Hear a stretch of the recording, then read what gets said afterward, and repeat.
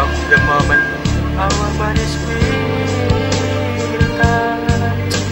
It went in the timeless moment of passion.